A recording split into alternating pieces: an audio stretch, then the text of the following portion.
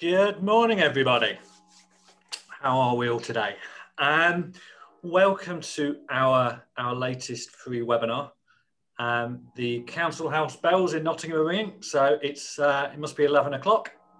Um, and I want to want to welcome everybody who's here today. want to welcome our guests, Neil, Dan, and Carl. Um, hope you're all all well. Um, and what are we going to be talking about today? Well, we're going to be talking about preparing your business and your clients for next time. Um, and what do we what do we mean by that? Well, if we look back to uh, March and April, huge numbers of consumers were understandably really concerned about the effect of COVID on themselves personally um, and on their short and long term financial future. And in our experience, advisors and planners reacted differently and probably fell into three broad camps. Um, the first of those was that they proactively communicated with clients. They, they reached out by telephone, uh, they picked up the phone to, to their clients, um, they uh, increased the frequency of they increased the frequency of email communications, um, and they, they were there for their clients. Second, they took a more reactive approach. I'm here for you if you want to chat. And third, did nothing. They did absolutely, absolutely nothing. Um, and while March and April was clearly unlike any period that we've we've seen before, um, does appear in the UK that we're heading back back that way in, in UK and Europe and, and North America. And of course, stock market volatility is a is a permanent fixture. Um, so today, I want us to learn from the past um, and build a blueprint for the future. Um, and frankly, who better to do that in the company of Carl and Neil? Um, and I'm like a kid in a sweet shop having you two on this webinar today. Really, really looking forward to it. Um, uh, before we get there, I want to do a bit of housekeeping. Dan, Dan Campbell is our head of branding and keeps me sane on these webinars and helps control things. Um, so Dan, can you uh, introduce yourself? Sure thing. Um, hi, everyone. So I'll be the person to blame if anything goes wrong. So be kind, won't you? And ultimately, in the interest of keeping good time today, we're going to keep all the questions till the end. So we'll have a Q&A session where you can ask anything that's cropped up during the past hour's session. There are two ways you can do that. So if you just want to put it in the chat function on the bottom, I'll be keeping an eye on those and just noting everything down so I can ask Neil and Carl later on. Um, there is a Q&A box as well. So if you'd rather do it that way, we can keep an eye on those. So um, whichever way you'd like to ask your questions, um, just put those through. Um, the webinar will be recorded as well. Um, so we'll be editing that down later on today. And I think that link will get sent, is it the morning um, or later on today? Uh, I'll try and get it out tonight. I'll try and get it out tonight. Um, thank you. Thank you, Dan. Um, like I said, 60 minutes of, of Carl and Neil. Both Carl and Neil have delighted to say that they're going to stay around afterwards to, to answer any questions we've got. So keep those keep those questions coming. Um, but let's start with a couple of introductions. Um, Carl, for anybody who doesn't know you on the call, call um, just introduce yourself to them, would you? Sure. Uh, thanks, first of all, Phil, for and Dan for putting this all together. Neil, super exciting to chat with you today. Um, in terms of introductions, I uh, am a financial planner. I write and I try to take complex things and make them simple. Um, and for the last couple of years, I've been doing that all over the world. So lived for three and a half years in New Zealand. We just moved to London in January. Have loved, I mean, you know, circumstances withstanding, have loved our time here. Um, and uh, really excited to be chatting today. Thanks, Carl. Neil? Yes, uh, Neil Bage. I'm the, the founder of a behavioral insights company called um, BIQ. Um, not a great deal more to add to that. I just want to echo Carl's uh, opening there. I'm and yours, Phil. You know, this is a really exciting um, hour, hopefully, with great conversation, and it's great to be on the virtual stage with Carl. I think we shared a stage a few years back at a nucleus conference from uh, from, from memory, but um, mm-hmm. yeah, it's it, it's great to have these conversations. So I'm looking forward to diving in. Cheers, Carl, and cheers, Neil. Thank you. Um, so let's think back to, to March and April. Um, those uh, seems a long while ago, doesn't it? Um, but thinking back to March and April, um, what did Carl? What do you think clients needed from their financial planner at that point? Yeah, a lot. Right. I mean, I, I and and I think it's really interesting. Um, the only thing scarier than flying in a really small plane in turbulent weather is seeing your pilot scared. And I, and I think that you've got that juxtaposed against this idea that clients really needed empathy. And so that's a fine line to to it's sort of a fine you know a, a, needle to thread if you will how can you be empathetic without transference of stress right and i think we sometimes we forget and this is true even in the uk that first a hug you know and then a lecture. And and i think the idea what what happens when um, you you you mistake so maybe this is an even better way to say it. What clients needed was a guide. What they didn't need was a defender of an outdated map so real financial planners are guides in changing landscapes they're not defenders of outdated maps if you understand the subtle difference there you understand that if you're with a guide on a mountain and I've done some guiding and I've been guided and I've been in really, really stressful situations on rivers and mountains with people. And if you're a guide on a mountain and a storm rolls in, you don't blame the, if you're being guided, you don't blame the guide for the storm. Right? I mean, you might because you're scared, nervous, you might want to throw something and you might want to vent a bit. And if you do, a guide will say, you know, give it to me. You know what I mean? Like, let it out. Like, I, I understand. And then here's this fine line we've got to thread. They might say something like, you know, I didn't anticipate the storm either. That's different than, oh my gosh, I'm scared too. Right. So, how to be empathetic without transferring stress. And then the second piece of this guide defender thing that's so important is if a client, if you get mad at the guide for the storm, the last thing a qualified guide is going to do is try to defend. Well, what do you mean? I looked at the thing. I did the thing. Don't you realize that if you miss the 10 best days of any 20 years, you, you know, like throwing charts, spraying people with facts and figures, that's what defenders do. What guides do is they say, yeah, I didn't anticipate this storm either right? And to be honest, when I look at the news, I get nervous as well. But you, and then they reach across the thing and they grab somebody by the neck and they say, You're coming with me. We're going this way. And I don't know exactly what's going to happen this way, but I do know I got all these tools in my backpack and I am uniquely qualified to take your situation and what's going on in the world and help guide you through it, right? Come with me. And so that's that's what I think people needed. They needed guides. They didn't need defenders. They needed guides. So hopefully that's that's helpful. Thanks, Carl. That's really really helpful. Neil, what have you got to add to that? What do, what do you think clients needed from their their planner?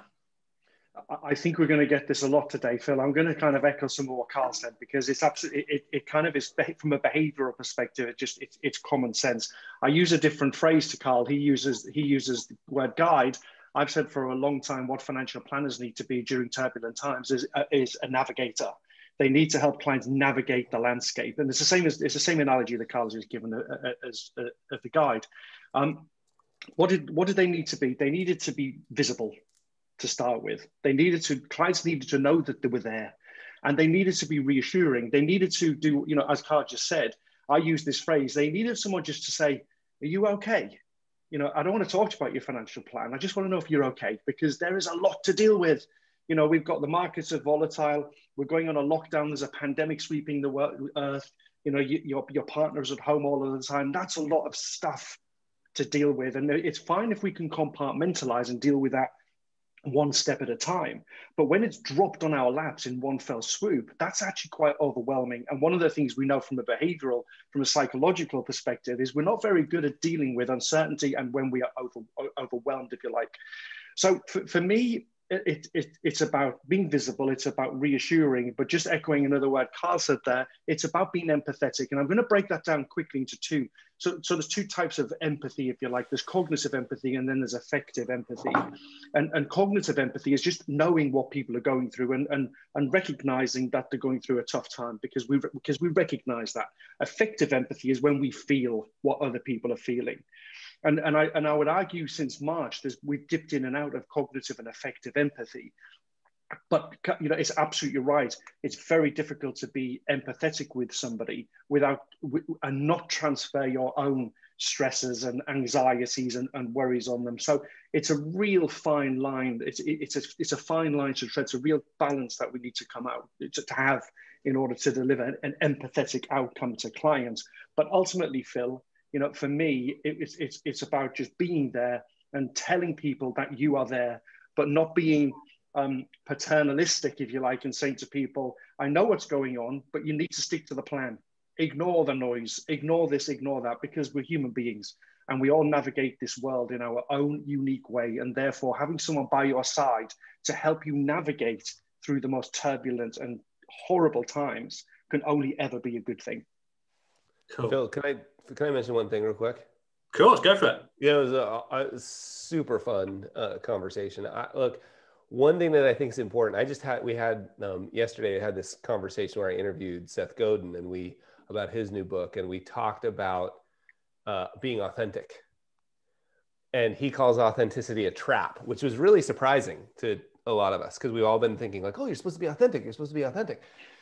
And I think this is an interesting place where this comes up right? Because like internally, you know, Neil used the word visible. Like it's absolutely what clients needed, right? And this wasn't one of those things like in years past, you know, you would call a client and go, "Hey, I just want to see if you're worried about what," and the client would go, "Oh, should I be?" This isn't one of those. We can count on the fact that everybody knew that something was going on, right? So this is one of those where you just call and say, "Hey, I was thinking about you today you know, thought I would check in. Zip. Like you don't have to say, like, I was thinking about you because your portfolio's down. I was thinking about you today. Thought I'd call and check in, right? But so visible, and it's the last thing you wanted to do, right? Because you wanted to be under the covers as well, right? Like you wanted to be in your bunker. I mean, you're a human. Not only that, your whole not only are you a human dealing with this, your whole business is wrapped up in it. Like that's why this thing's so tough, right? And so you didn't feel like doing that. And this is where this authentic thing, authenticity is a trap comes in is like, like internally we can all say, Hey, I got you, my friend. Like I didn't feel like it either. Hugs. And then that's the empathetic hug.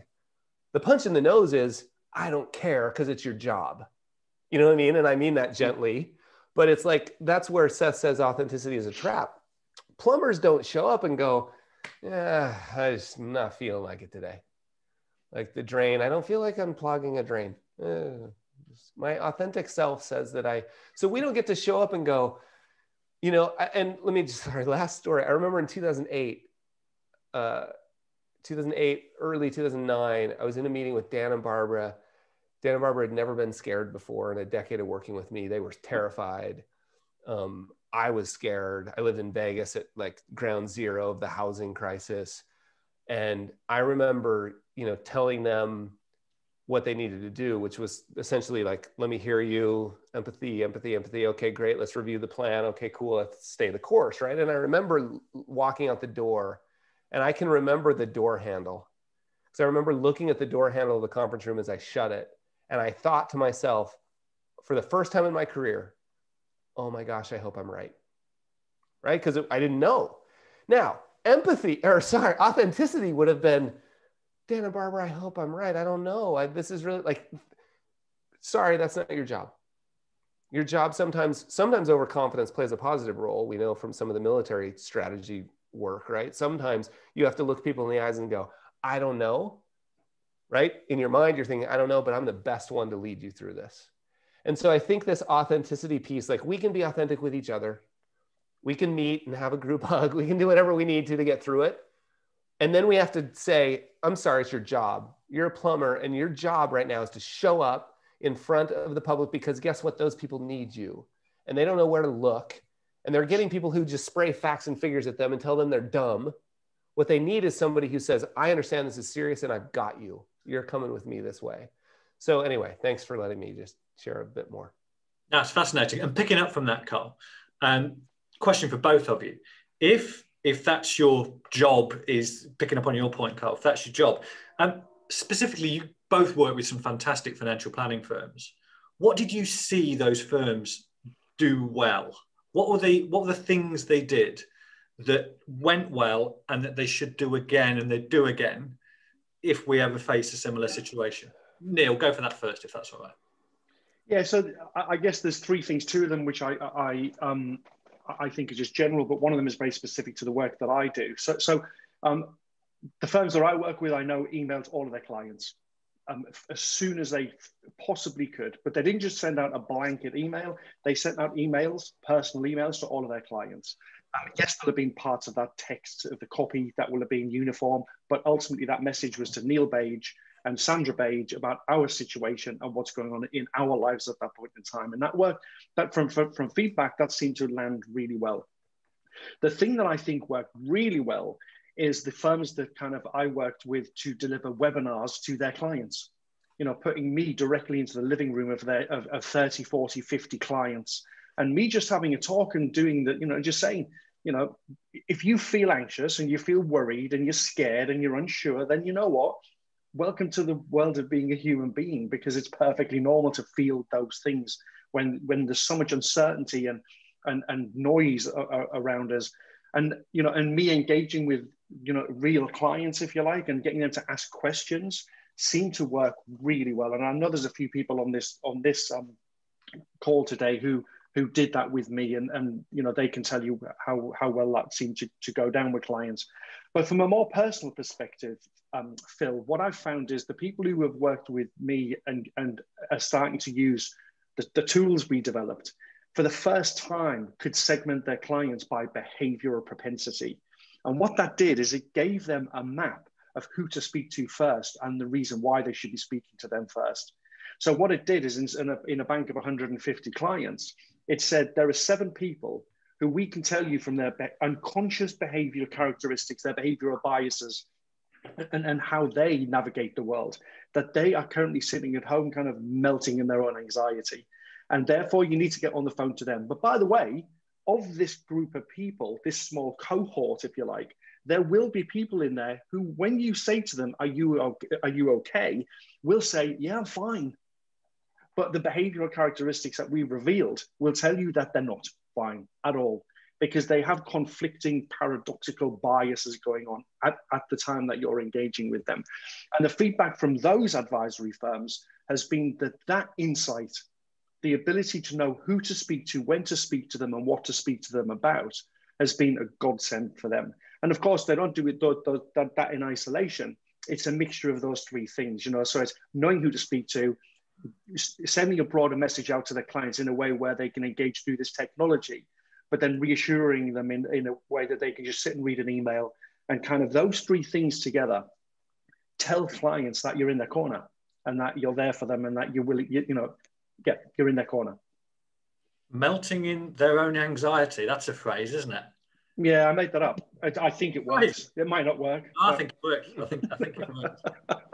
You're winning. I think you win today's webinar with that phrase. That's a fantastic phrase.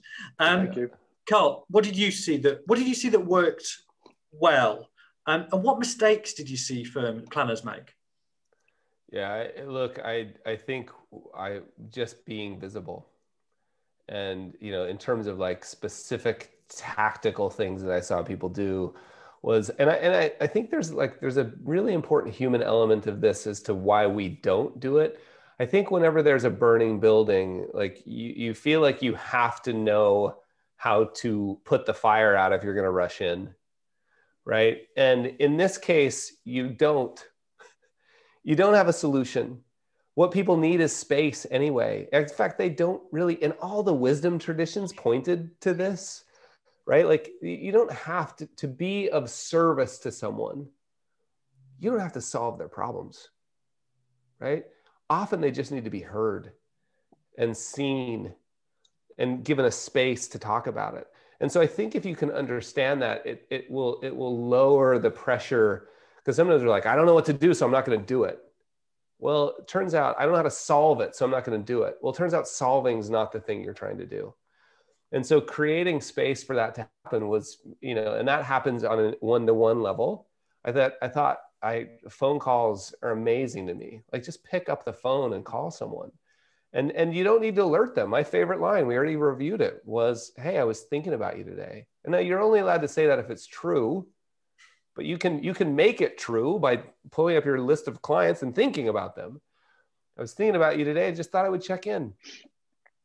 Right? And no need to say any more. Are you scared? Are you nervous? You're like thinking, how are you? Right? And and and how are you? Right? Not how are you? Fine, fine. I'm busy. busy. I'm busy. YouTube. I'm busy. And then, so that's one on one. And then I loved, loved a good, uh, a friend of mine in the States started doing, the, he called them town halls.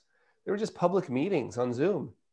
He said, Look, I don't have an agenda. I just want to talk about it. I think I can answer. You might have questions or concerns. Let's hop on if, and this is one of my favorite lines, if you look, we want to keep these intimate and small, but if you have friends or family that might benefit from being there, feel free to invite them.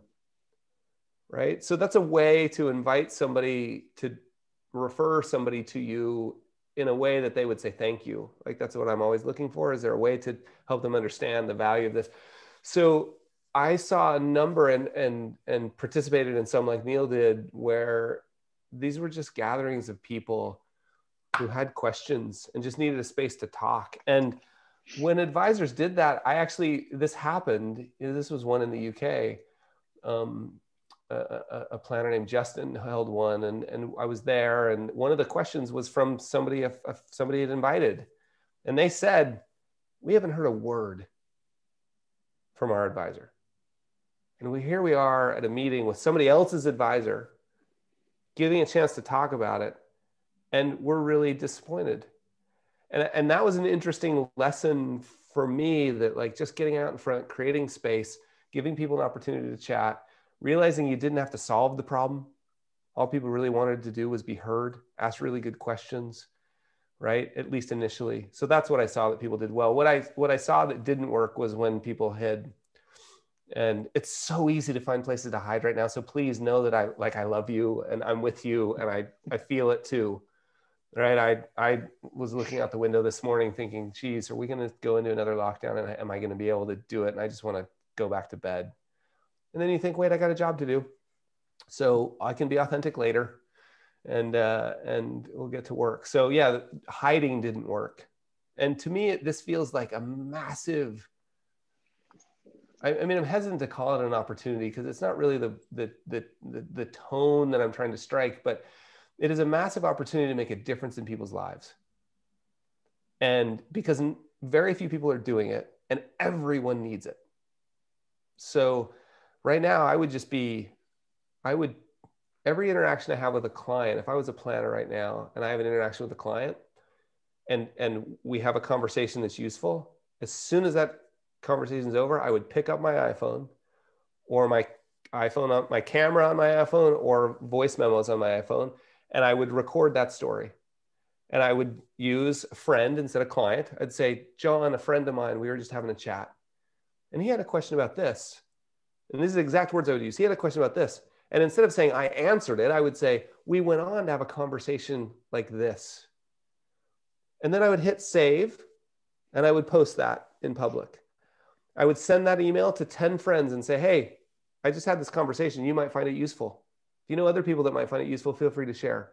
And I would just do that every single conversation I had because you're having the conversation anyway. Why not make a bigger difference? Absolutely. And Neil, you you you didn't, you didn't we didn't call them town hall meetings, but I know you spent a lot of time doing uh, webinars and spending time with the clients of financial planners. Sounds like you were doing a similar thing. Yeah, it was. It actually was um, different, same event, but by going by a different name. So we, um, I, I didn't go on there with an agenda. I didn't go on there to do a presentation. What I did is I, I kind of set the scene from a, And, actually, I did work, work, I focused on the area that is, is my background. So I focused on kind of the neuroscience of it, you know, the, the, what's going on in the brain and, and how you can't ignore the fact that we're human at the heart of this and how our, you know, the, the amygdala will trigger the hypothalamus, we'll go into fight and flight and blah, blah, blah, blah, blah. So I set the scene of this is what's going on inside of your head that you're not aware of. This is what's going on in the world right now. And when those two things come together, it creates a bit of a mess. Let's talk. And it, and it, um, and it, and it seemed to go down, it, it did, it, it, it went down really well. And, and a lot of the questions I had back from clients, ultimately, if I had to kind of categorize them at a high level, were, am I going to be okay? It, it was it was that fundamental. You know, people clearly showed anxiety and worry about what's going on. And incidentally, by the way, that wasn't that wasn't about their finances. You know, we need to remember that that in March, April, May time, I would argue that actually their financial well-being dropped down below their kind of physical and mental well-being. Um, those three things kind of move around depending on, on, on what's going on in the world. But um, so it, it, was it was for all intents and purposes to use the same phrase Carl just said. It was a it was a town hall esque uh, event where you just talk and you listen and you engage and you put people's minds at rest. And no, just picking up on that, actually, you talked about their financial well-being and their individual personal well-being being at different levels. How do you see those two things interacting as we move into the next few months and what's happening in the UK right now? I think the same thing will happen, Phil. I, so I, I, we tend to talk about financial well-being uh, as this kind of cog in the well-being machine, if you like. But it's this little independent thing. But every aspect of our well-being interacts with the, each other, the, the other aspects, right? So you, you don't get one without it impacting the other. So we know our financial well-being impacts on our mental well-being. We know this, and we know that our mental well-being has an impact on our physical well-being. So we know that those three things are absolutely intrinsically linked. So I, for me, it goes back to that navigator comment. It's about advisors saying, look, I'm here by your side. And, I'm, and, if, and if you don't want to talk about money, fine, fill your boots. I'm just here. I'm in your corner. I'm here to listen to you. And if you want to vent about how you're feeling and your fears and your worries, or in the, in the positive, your dreams and aspirations, of course, I'm here to listen to you. But I, I, I think pigeonholing conversations into I, I, need to talk to them about their finances. I think may just add to the anxiety that they're feeling. But but there's another aspect to this phil that and it, and it kind of harks back to the question you just asked about what did what did advisors do that made that didn't really work well? Um, i do find speaking personally here i do find conversations where advisors say to me i tell my clients what to do and they do it I find it, it it's paternalistic. I actually find it, it's a conversation that makes me very uncomfortable because we, I don't think we should be quote unquote telling clients what to do. And I, and I get why that happens, right? There's a lot of people, a lot of advisors I speak to who say, what I'm trying to do is stop clients acting irrationally, right? And I get that, I do get that, but that's too that's too much of a simplistic phrase because there's two types of kind of rationality, if you like. There's economic rationality, which is selling at the bottom of a market when you know you shouldn't. Is that rational? Of course it isn't. It is absolutely irrational to do that. You know, when the market's cheap or when anything's on sale, you know, you, you wouldn't walk down the supermarket aisle and see wine that's reduced from eight pound to three pound and think, I'm not doing, I'm not buying that. I'm, I'm, I'm running away from that. You would fill your trolley.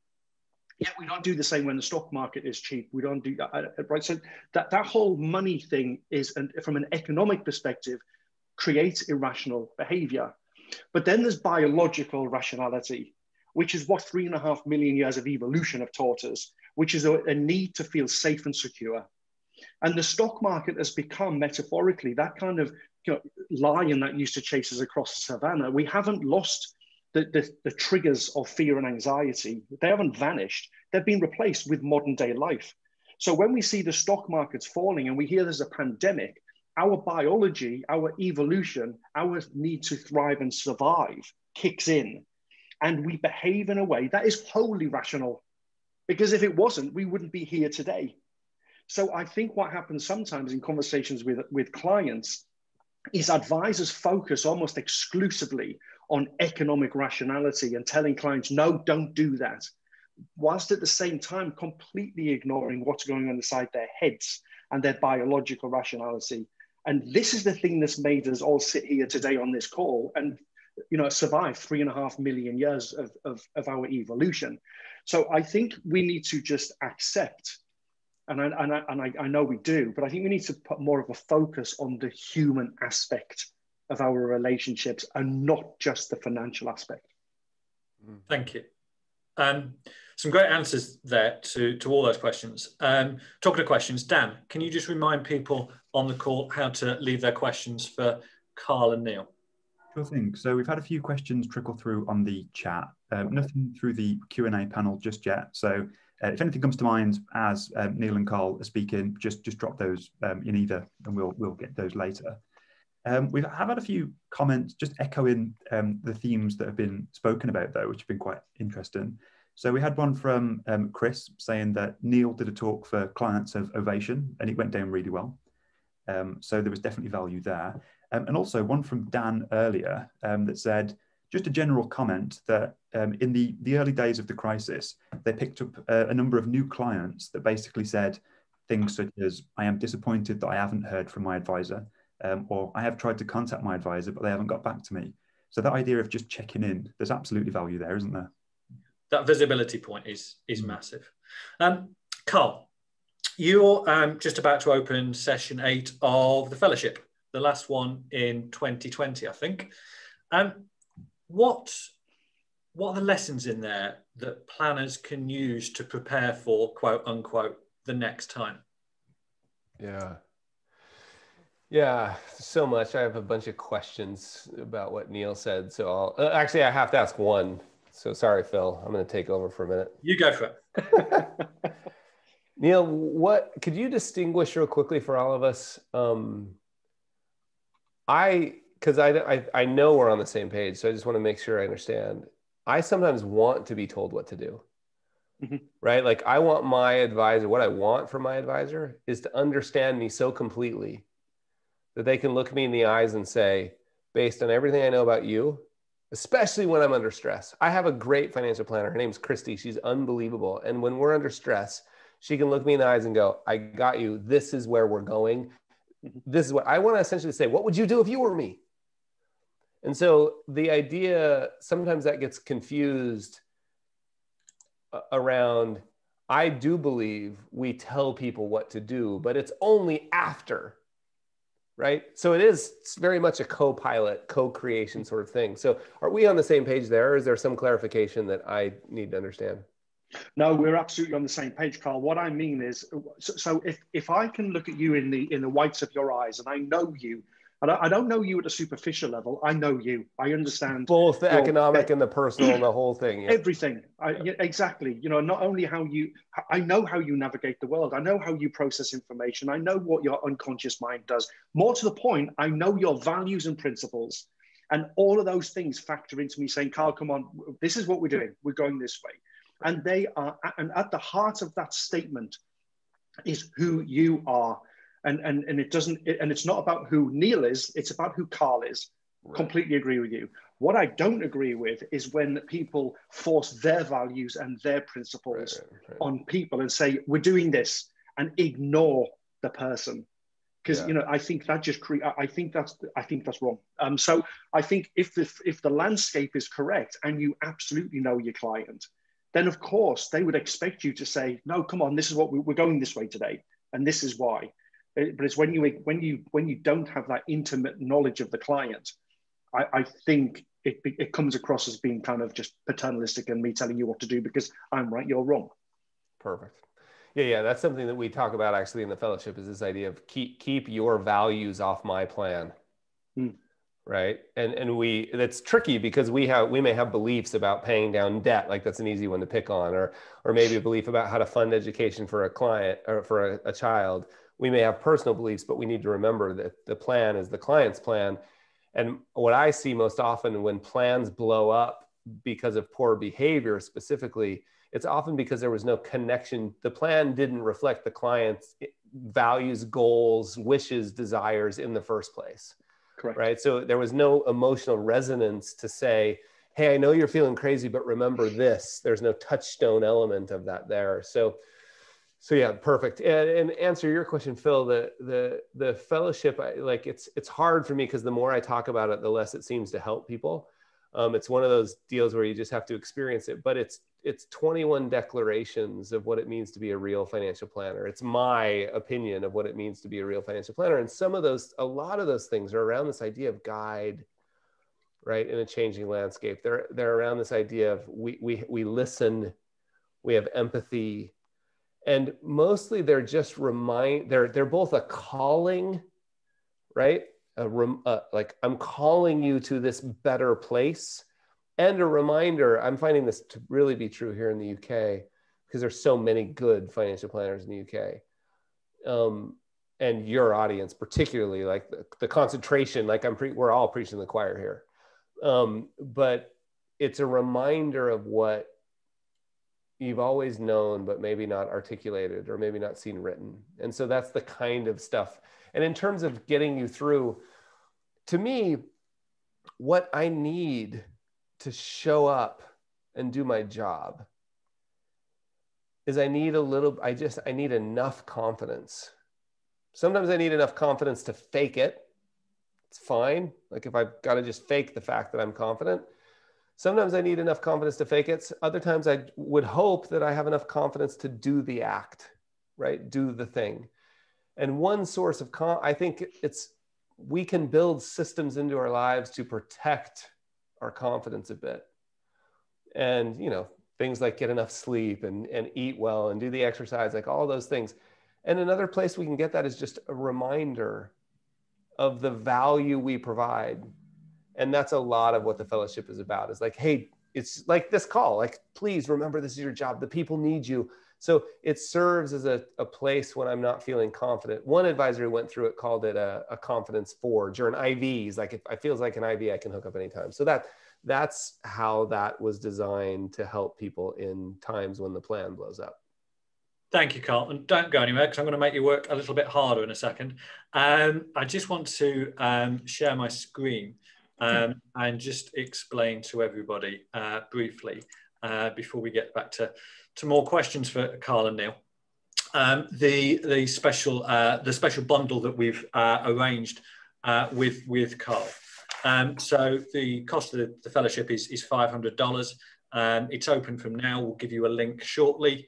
Um, and anybody who signs up using the, the yardstick link gets um, an exclusive bundle of Carl's sketches not known for as the sketch guy for nothing, Carl. Um, and we have selected um, three of your, your sketches, which we think will help financial planners prepare their clients for next time. Um, so anybody who signs up for the fellowship uh, using the link gets those three sketches. And the other thing we've done with them, which I think is really cool, is we've animated them as well. Um, so what I'm going to do now, Carl. Wait, wait, you're you're giving the animations Absolutely. As part of the Absolutely. Huh. And even even better, you're now going to explain those animations, Carl. Um, so we've got the animations on here. Um, and Carl, just give us the 30 second précis of this one um, and why we think this particular uh, animation and sketch is perfect for helping clients prepare for next time. Yeah, so let me just, I just want to understand something. So that's a, a little animated video file that you get you've done three of those and i i can post those on social media anywhere i want do whatever little content mm-hmm. snacks i can use. You can do whatever you like with them. So you've got the three animation cool. the three sketches cool. and fill your boots. Uh, planners who sign up can do whatever That's the second time i've heard that. I don't know what it means. Neil what does fill your boots mean? Did i say fill your boots? No i said yeah. no you both did. You both now said fill your boots in this in this call in the last 10 minutes Anyway, need... I love these. I love conversation. I, I, have a lot of these conversations with with um, our mutual friends Daniel Crosby and Brian Portnoy.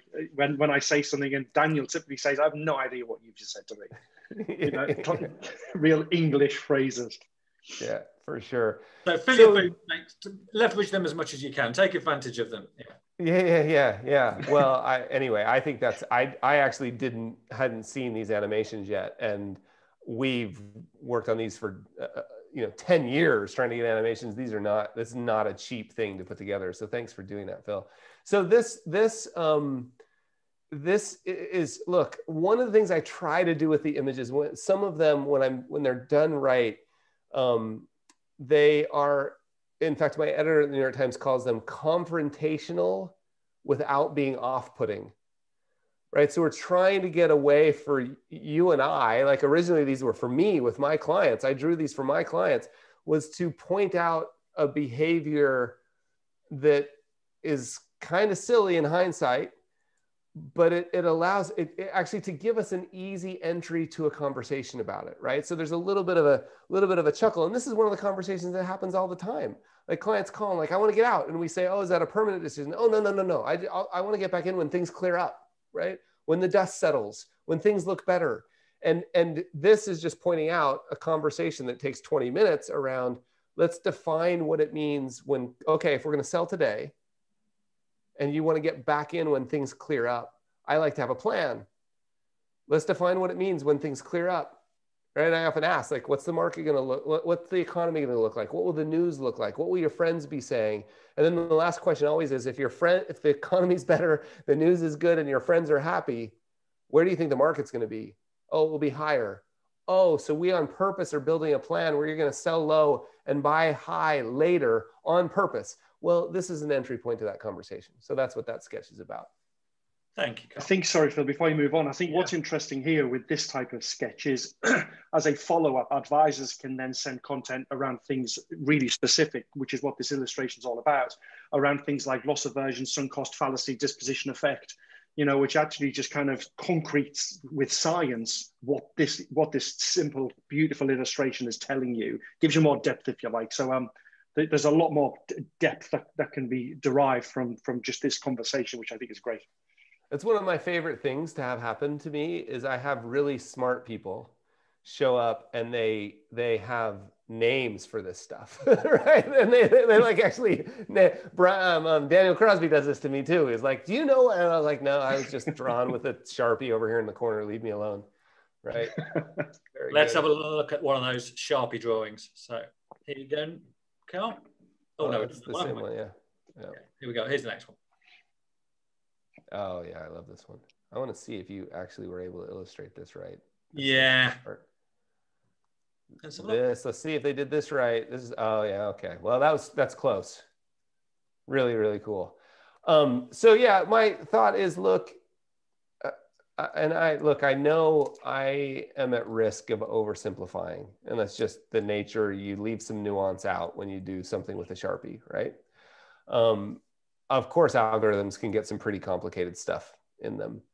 But this was just me pointing out, like, look, algorithms are really good at solving what can fit in an algorithm. And complex adaptive systems don't always fit in algorithms. And humans and markets and their interaction is a complex adaptive system. And so I, I think that's that's just sort of my sort of cheeky way of saying, look, algorithms are great at solving for what fits in an algorithm, but you and your money don't always fit in an algorithm. Thank you, Carl. The last one.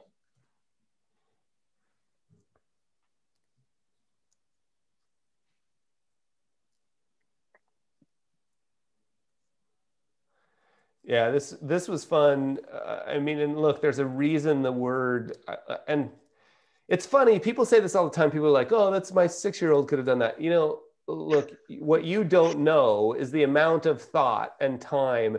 It's this. It's the simplicity on the other side of complexity. So I know I've thought about the edge cases. I've thought about the nuance, and I purposely left the thing that out that I didn't think was what I was trying to get across. And I'm trying. So I was only going to point that out because you notice it says good investments, right? Like you could have a mediocre, by definition, average investment portfolio. And if you behave well, you'll do better than 99% of your neighbors. And that in America, at least, is what life is all about anyway, right? Like that's sort of a joke.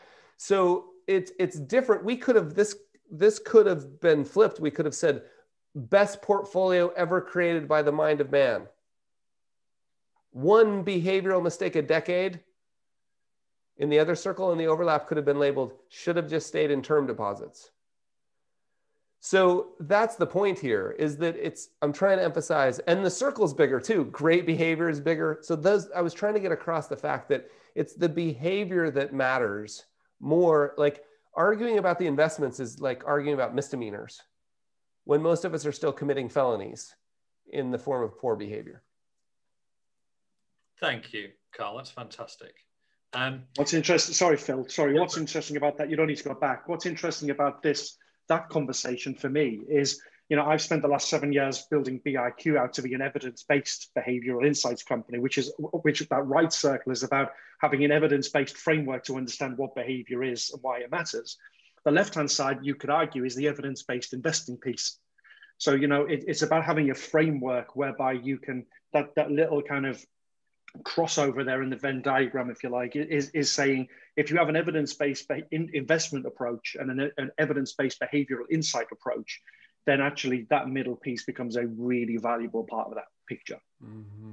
Yeah, beautiful. Um, and to find out more about the um, the uh, the fellowship and to um, access that bundle, there's the link. Dan's going to put it in the in the chat, uh, and that offer is open until the the 26th of October. Um, so, and we'll we'll put the link in the um, in the show notes to this when we send around the recording later on this evening. Um, but Neil, I want to come back to you if that's okay, um, and just pick up something that you'd said you said earlier, um, and you talked about uh, the, some of the planners that you worked with had got a list of the clients who were I've written it down melting in their living room with anxiety. Um, just talk to me a bit about how planning firms can plan now or can can strategize for the future for next time this happens and how they can start understanding which of those clients are going to be melting with anxiety to use your phrase. Uh, i'm going to have to uh, my the academic side of my brain the science side of my brain saying i'm going to have to see if um, anxiety increases body temperature. I think it does. So um, you know you can get to a point where you could legitimately melt.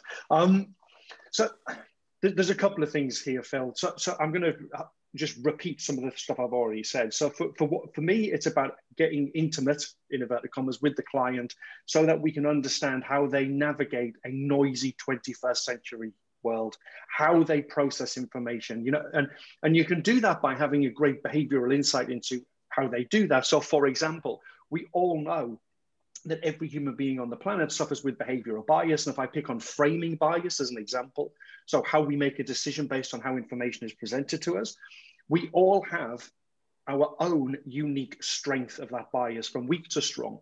And if you just kind of say from naught to 100, every single person on this call, every human that walks the planet has a, a strength of framing bias. And that's the same for every behavioral bias, by the way. Now, if I know that there are clients who have a strong framing bias, and I know that they're on social media all the time, and I know that they also have a strong confirmation bias, then what that tells me immediately is that the, the, the, way they are navigating the world is going to be they are going to react to the news and they're going to form opinions very quickly.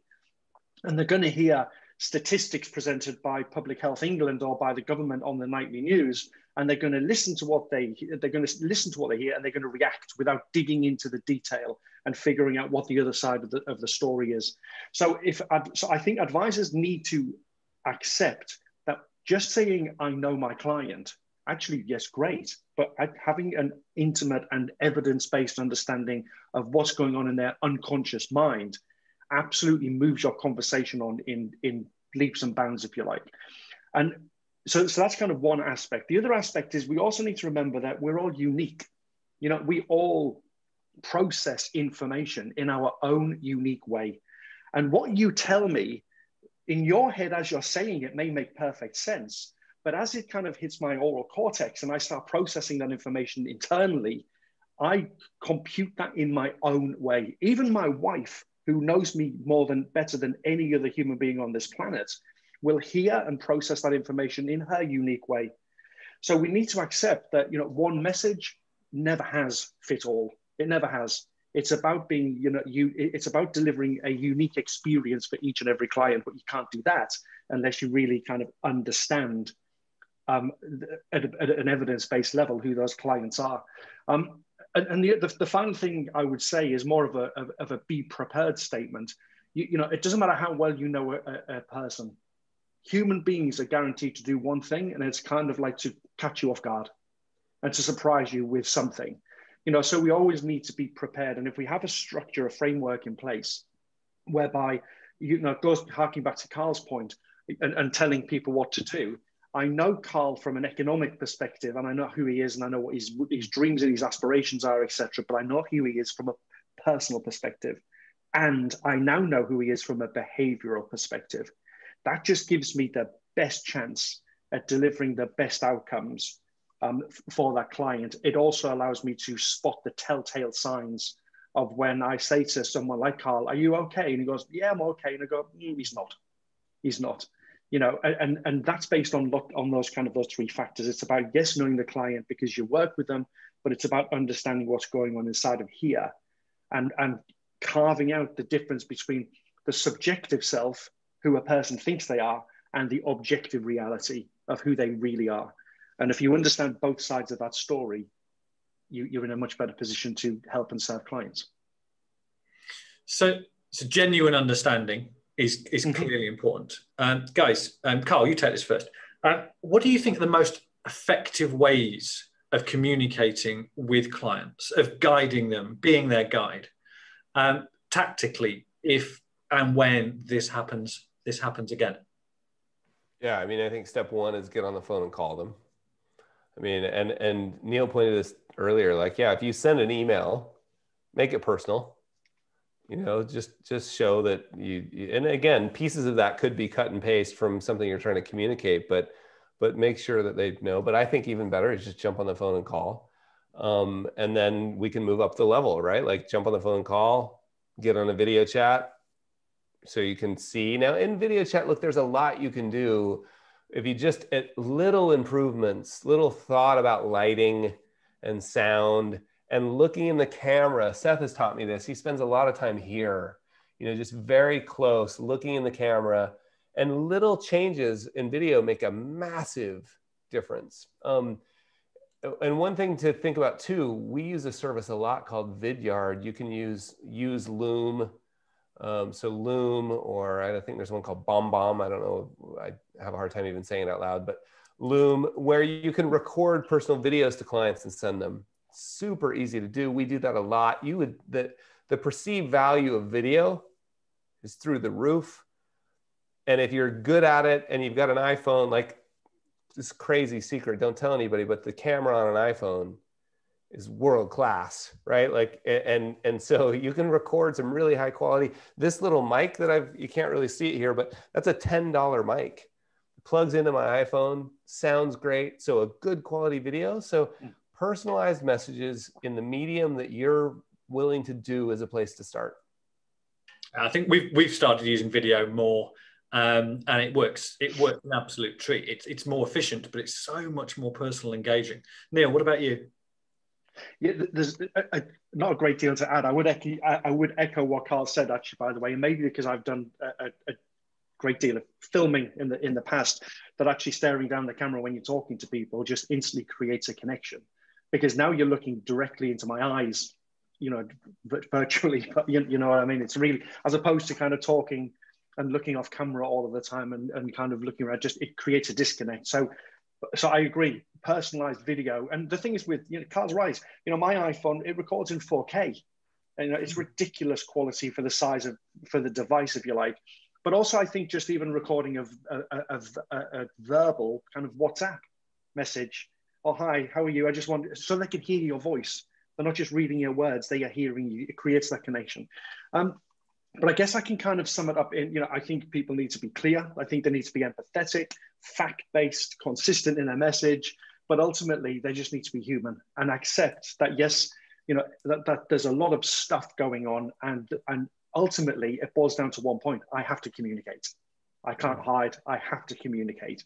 And even just having that, at that point, coming to that decision, whether it's an email, a phone call, a WhatsApp message, a video message, just reach out and let people know that you're there. Yeah, it's it's so important. I remember back in March we we published our um, I forgot what we called it now, coronavirus guide to communications or something, something along those lines.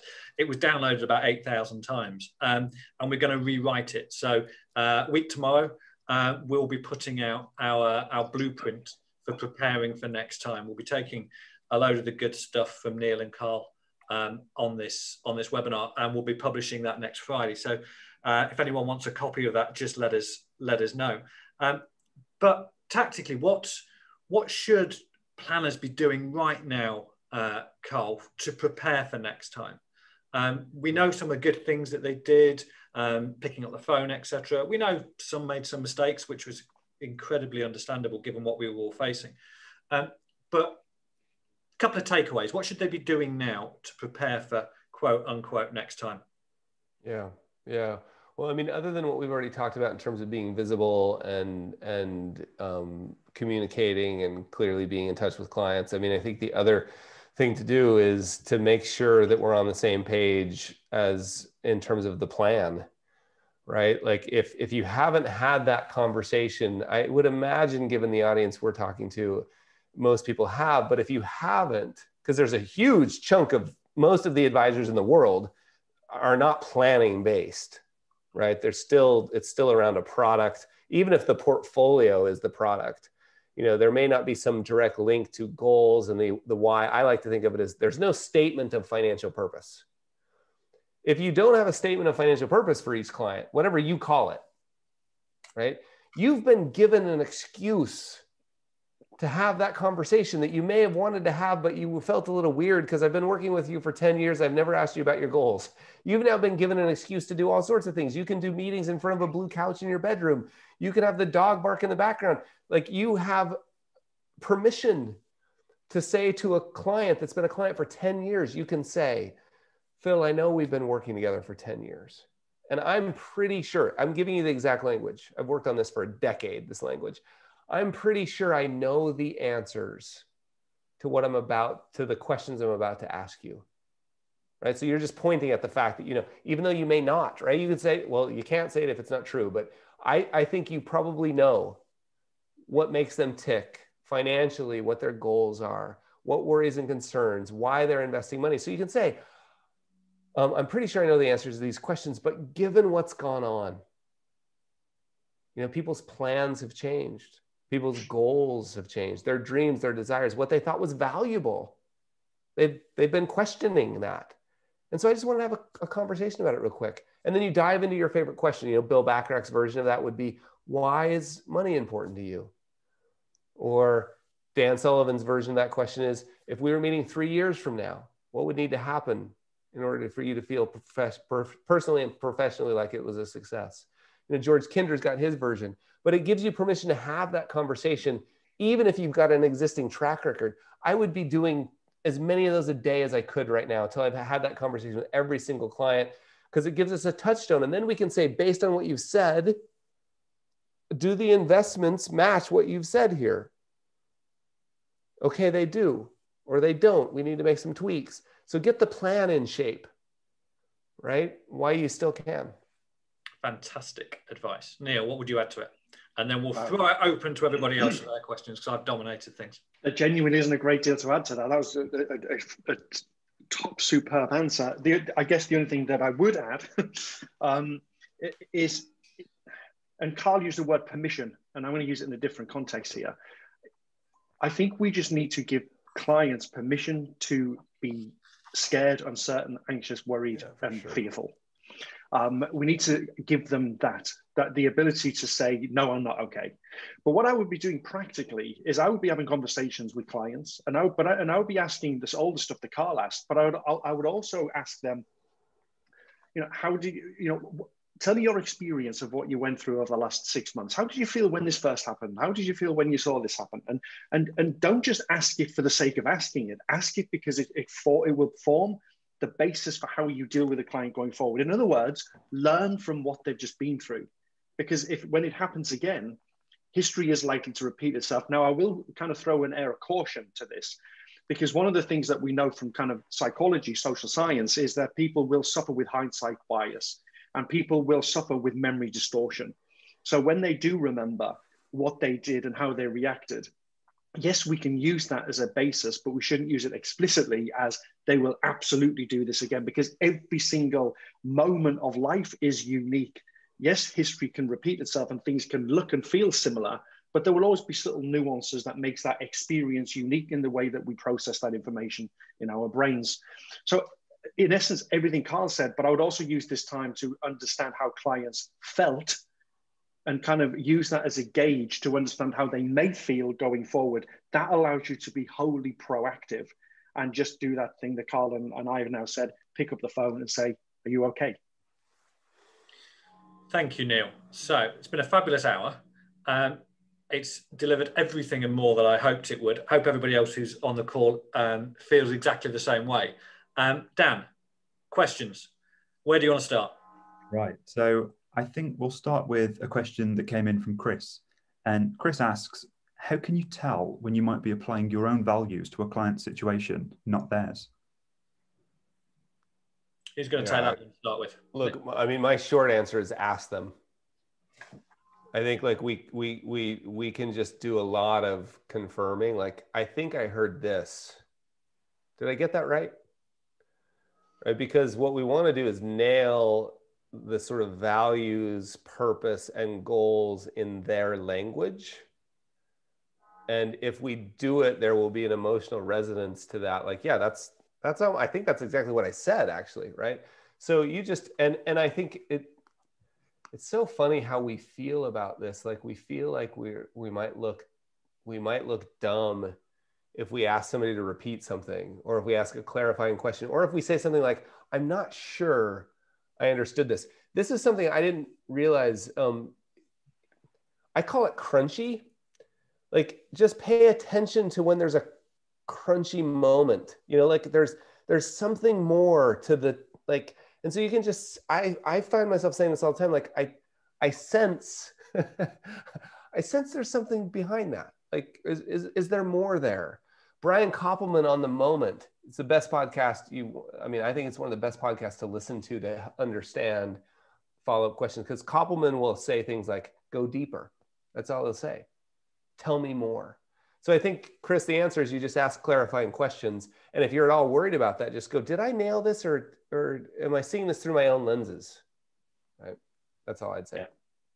I, I, agree with that. The, the, and and the, the, I guess the one point I would add, and it goes back to something I said earlier. You know, we three and a half million years in the making as a species, we have become incredibly fine tuned at just looking at another human being and knowing that there's not, something's not right. You don't even need to ask them the question. You know, you can sense it, you know, and you know this, right, from your relationships with people. You know, you'll say to someone, You're all right. And they go, Yeah. And you kind of just know they're not. You know there's something there. And it's like that sixth sense, if you like. And that's what, you know, we, we, we picked up that skill. It's why, by the way, as, a, as an aside comment, I, I am absolutely adamant that robo advice will never replace real advice because it'll never be able to replace that human aspect that we are so fine tuned that I can't see tech ever replacing that. A, a computer can't look at me through the camera and go, actually, are you all right? It, it just it, it just will never be able to do that, I don't think. Um, so it's about everything that Carl said, but I think it's just about using these things and just observing reaction and playing back. Have I got this right? Is this what you said? You know, because I just want to make sure. But you will also be able to tell the second you prod someone in, in at the part of them, which is one of their values, and you're prodding them in the wrong place. I, I would argue that you would visibly see the reaction, and and you'll and it'll change. There'll be an emo, there'll be an emotional resonance to use that phrase that Carl said, and so it's about doing it what Carl said, but I also just think observing as well, and and and being and giving yourself permission to change your narrative and step back and go, oh, mate, okay, I got that wrong. Sorry, my let, let's let's get this right. Phil, let me just mention something here that's important to understand. Like sometimes this this conversation we're having here gets painted as like, you know, I, I sometimes refer to it as like super California, right? Like it's woo woo and it's fancy feelings and it's people crying. And we come from an industry where we're like sales and numbers and stuff and things that we can measure and I just, for those people that feel that, I think a, it's really important to understand this is where the business, the, the the practice, the craft of financial planning is going. It's been there for a long time, but throw that out for a minute. The single best way I know, if if what you care about is selling, right? Because you equate selling to impact, or maybe even more. You equate selling to the business being successful. Fine. The single best way I know is to listen to people. Right? The single best way I know is to get somebody to talk about themselves because they'll release, Neil's going to correct me if I'm wrong, oxytocin in their brain. And that, that is a chemical reaction that's designed, as I'm talking about myself, it's designed to help me like the person who asked me the questions, for me to feel an affinity to somebody who listens to me, to make somebody who makes me feel emotionally safe. I like them. Oxytocin's what does that, right? It's it's so you can think of this as California if you want. You can also think of this as the most powerful genetically designed hardwired selling tool you'll ever hear. And it turns out, you know, they're both right. Dan, let's get through as many of these questions for people as we can because uh, it's great to have Neil and, and Carl here. Sure thing. So the next question I'm going to ask is from Richard. And Richard asks, most of the focus has tended to be on the relationship between planners and existing clients.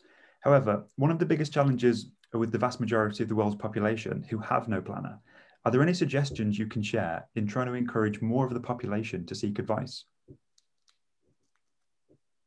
Who shall we start with there? Neil, you looks like you've got an answer on the tip of your tongue.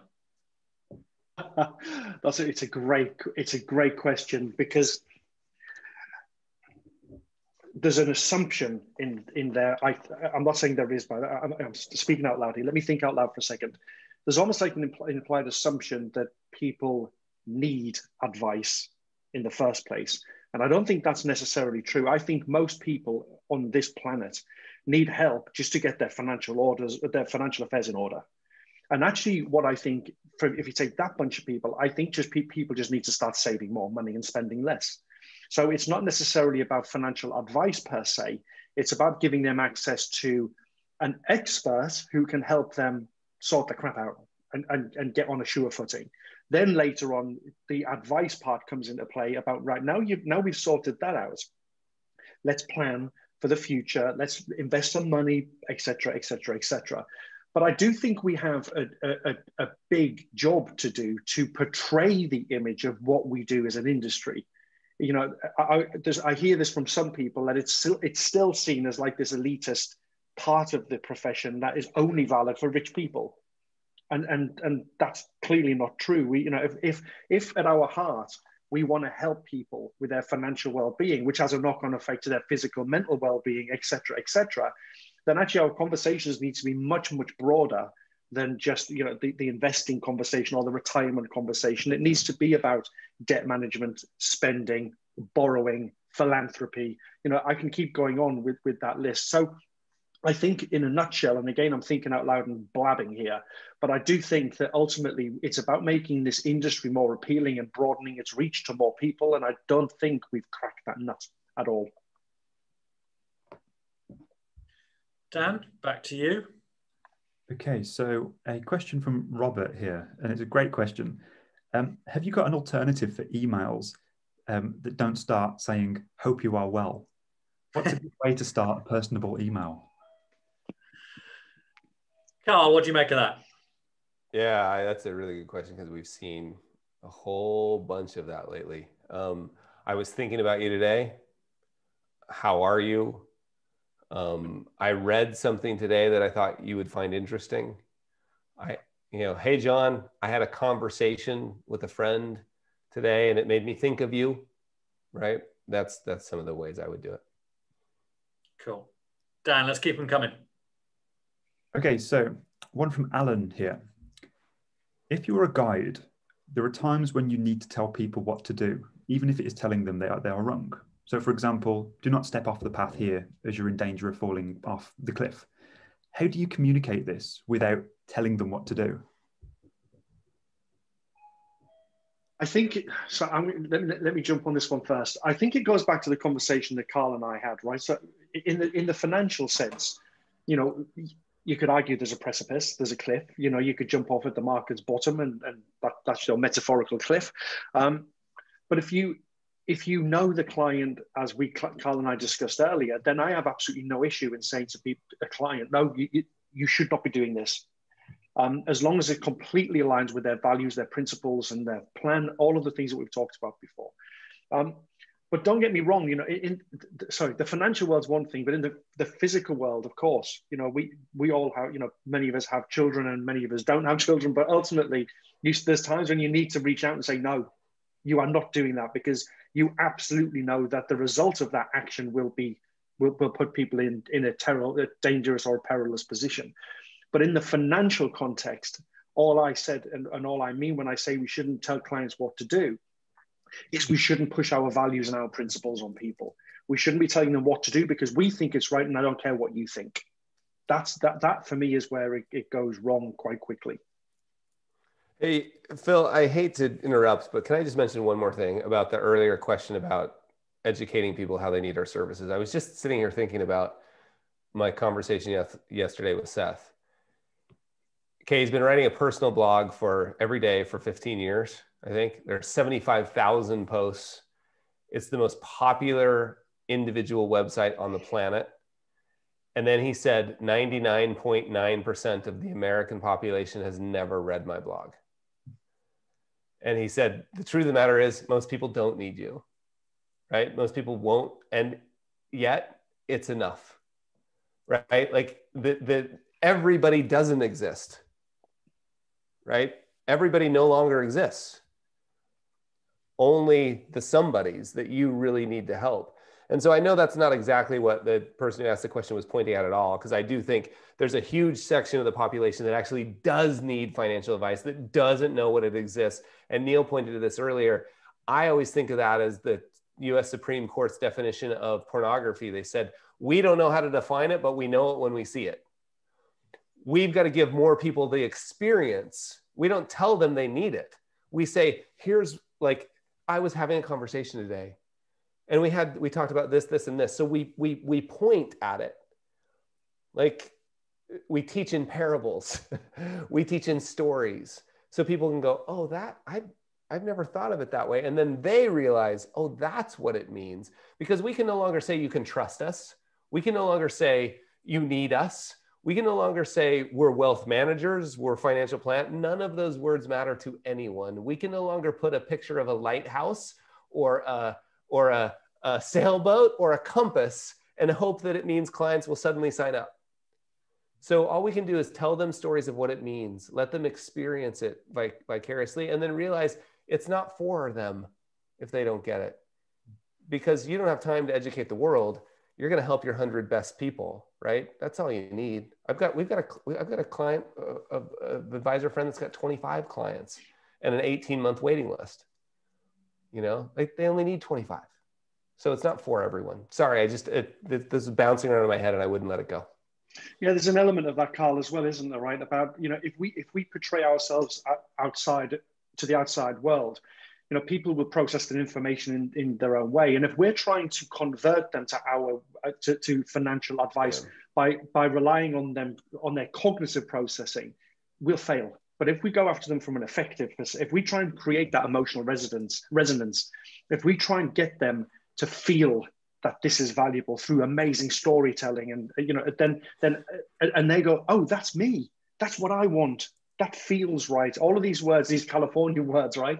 Um, that's how you get people on the hook. That's how you get people into your world by making them feel like this is something that I want to take part in. If we rely on them to process that and come to that cognitively, I don't think it's, it's one of our, it's, it's the failing, the Achilles heel. Hey, hey, Phil and Dan, I know you have some questions, but this might be really useful.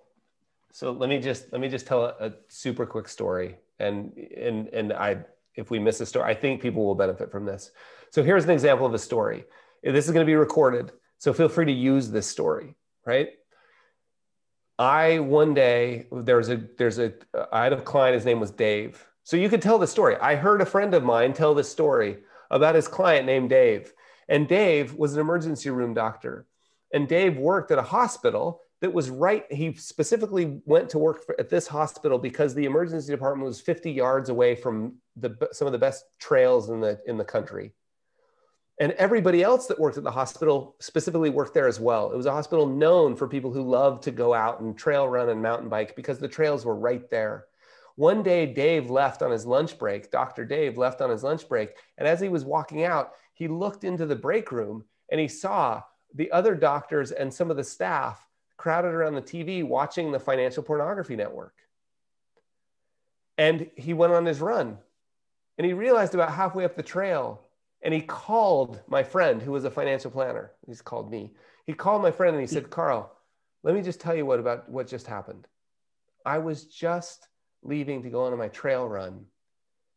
And on my way out, I looked in the room and I saw all the other doctors and nurses and staff watching the Financial Pornography Network crowded around the room. And I realized I wasn't there.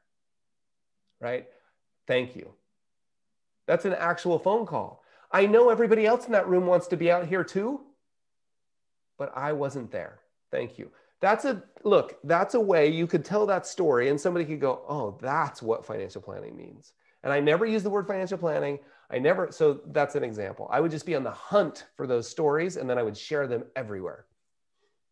Sorry. No, it adds a huge amount, Colin. And uh, we yeah. all love a story. It's, it's, thanks for doing that. Um, Dan. Sure. So the next question is from Ian. And Ian asks, how do you get more comfortable with asking deeper questions, such as why is money important to you? And how do you then follow that conversation through? Practice. Sorry, there, there's I don't have anything else to add other than just like you just practice. I promise it will feel hard at first mm. because these questions are designed. A good question by definition is a question that somebody may not have ever been asked before when you're asked something you've never been asked before, you it might feel uncomfortable. Notice that uncomfortable is a sign that you're doing something right, and then practice. Let's keep going, Dan. Absolutely. Um, okay, we've got a question from Dan. What do you think about not taking on clients in the first place if they don't seem like a good fit? Neil? Well, I mean, I, you know, I, I am not a, a, financial planner, but I can speak from um, from an experience of having a business where we go out and see clients, right? I think from so, let, but let me try and flip that into the financial planning world. Why would you want to work with somebody who is going to be a royal pain in the backside?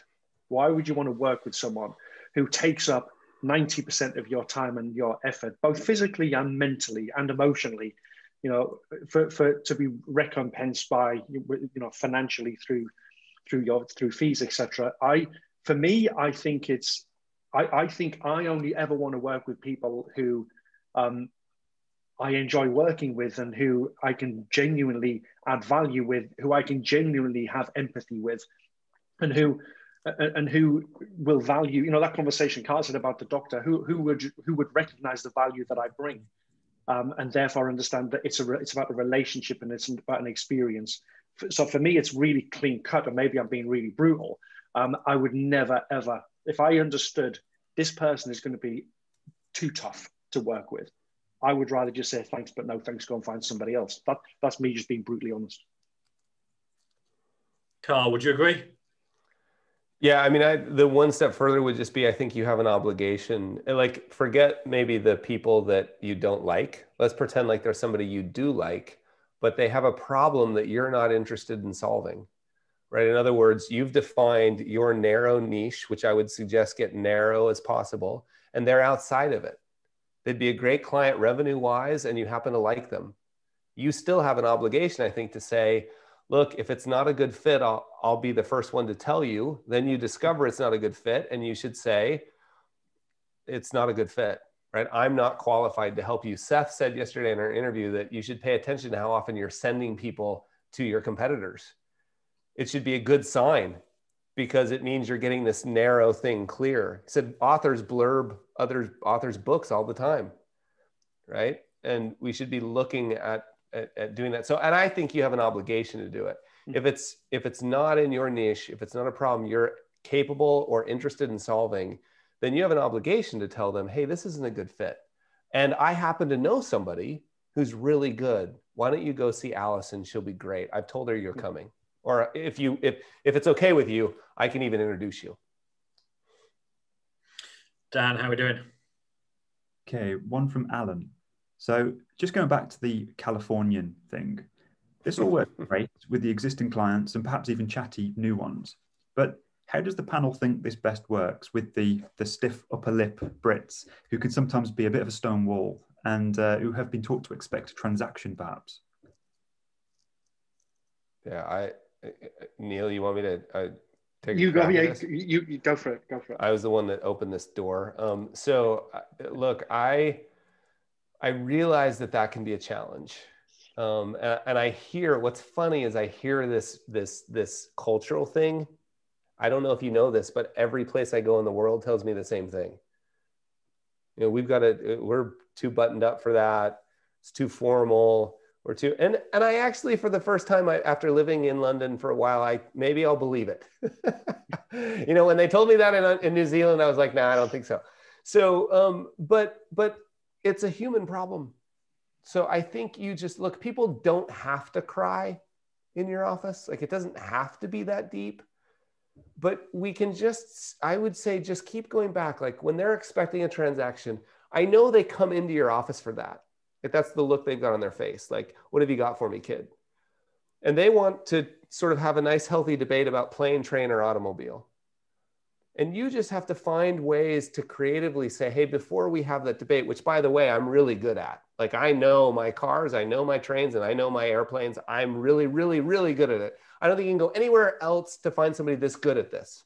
But before we do that, I've really, it'd be a disservice if we didn't have a conversation about where you're going before we decide which mode of transportation to take. So believe me, we'll get there. But first, could you help me understand where you want to go? Like sometimes we call that goals. Let's talk about that. Why are you doing this? Right. So maybe you soften it a little bit and you don't say, why is money important to you? Like maybe, right? But I think if you do it right, you can play the dance correctly. This is the craft that just takes some practice. But don't let them change it on you. Right? You're the doctor, they aren't. Right? You're the one who knows how to diagnose, not them. And let me give you one last example. If somebody is insistent on this, right? It's about performance portfolio. Hey, listen, kid, I'm not here for this like California conversation, as we're calling it. Like, uh, just tell me what you got. My favorite way to handle that was to say, okay, okay, gotcha. Like if you know you've tried two or three times, I call it the last arrow. The last arrow is I got you. Now explain again why you came in today. Oh well, the guy down the street's been terrible. Like I've, my performance has been terrible. Okay, so performance has been bad from the guy down the street. Okay, got it. Explain to me. Just help me understand. How did you find them? Like how did you get introduced to them? So then they walk you through probably what they're going to walk you through is I went in, I had a, I, we talked about it. He showed me some great performance portfolios. And then you can essentially say, oh, got it, got it. And now you're unhappy. Got it. And you want me to repeat the same experience as you had with them. And you're expecting it, again, it's the last arrow. I mean, this may mean they leave. It's fine, right? You want me to repeat the same experience and expect a different result. And then I would say, can I humbly suggest there's a slightly different way? Like if we went about this a different way, we might have a chance of getting a different outcome, which is what I want for you. So that's how I'd handle that. I, I, just want to add to this. There's two things that pop into pop into my mind here. There's one, so that this this stiff British upper lip, um, which of course is, is a thing that I've grown up in with all of my life. There's a really, it's like cognitive behavioral therapy, right? It's about giving people permission to to just to speak and be themselves. And I think a lot of the, the, the, conversations have happened kind of in days gone by haven't done that. We haven't even broached that subject, right? So I think it's about creating a safe space where people can just be themselves and can open up. And if you ask the proper questions and you construct those questions in the right way, then they will, I think, uh, to varying degrees, open up with you and let you in a little bit. But if that fails and you need to understand, you know, what's going on inside of their heads, then you know, and and and I'm not plugging anything here, but that's kind of like the, the last seven years of my life is trying to figure out how can you get put people through a digital process that's fun and engaging, that doesn't scream right or wrong at them, but reveals who they are. And then at least you're armed with that information. That, so their, their stiff upper lip is intact. They don't want to let you in, but you can get in through a different route, if you like, and still learn about who they are and how they how they, they navigate the world. But uh, I'm you know, echoing what Carl said um, as well. But uh, for me, it's about creating that safe space and giving them permission just to to be who they want to be when they want to be it. Yeah, amen. Okay, so one in from Ross, and Ross says, one of my biggest frustrations is having a really productive meeting with a client where we discuss lots of things that that client could and should be doing to help them meet their personal objectives, only to then have the same meeting six or 12 months later and discovering they haven't done any of those things. How do you get clients to follow through with the great advice that you're giving them? You repeat it. I used to get frustrated too, and then I realized that's eh, kind of my job, especially for that specific client right? It's I had a client, her name was Martha. It was just I figured out my job for Martha was to pick up the phone once a month when she called because she was scared about some something in some far flung part of the world. It took me a couple years. Like, wait, I told you last time. it took me a couple years to realize, like, oh my gosh, I guess that's my job with Martha. Right. And so you just do what you can. I mean, you decide. You don't follow my advice, get out. That's one way. Another way would be you know, I'm just going to chip away at this. I'm here for you. We'll just keep repeating it. I think we need to remember as well in this conversation that you know when when I walk out of my financial planner's office, Neil Bage's life continues as it as it was before I walked in the office. All of the thing, all of the other million and one things I have to deal with in my 24 hours, you know, are still there. They haven't vanished. I just have to now slot in other things that are the, are the, are the outcomes of my financial planning meeting. So I, I, I think we need to also be conscious that the financial plan, the advice we give people, and the steps we give them to take aren't the only things that they've got going on in life. So I think having that that that um, you know, getting on the phone and just saying, just checking in, you know, how are you? How are you getting on with that thing I asked you to do? Just gives people that little nudge they need in order to kind of reprioritize again. But I think if you can create that emotional attachment to the things that they're doing, there's more, you know, the evidence suggests that there's more a, a, stronger likelihood that people will follow through with the action if they feel that there's an emotional attachment and, and, and it resonates with them. So I think there's two things. It's about just constantly saying, have you done it? Have you done it? Have you done it? Because people will procrastinate because life takes over. Um, but also trying to make the steps bite-sized and give give each of them almost like their emotional resonance at the same time because then there's a likelihood that they'll follow through.